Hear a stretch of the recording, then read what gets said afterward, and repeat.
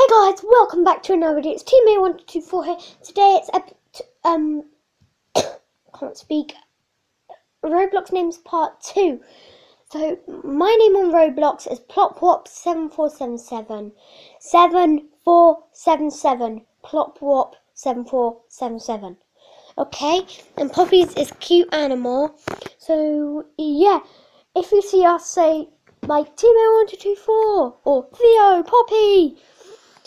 Um, yeah, so my name's Plopwop7477 and Poppy's is Cute Animal. So, yeah, make sure to leave a thumbs up, big fat thumbs up, and subscribe. Bye!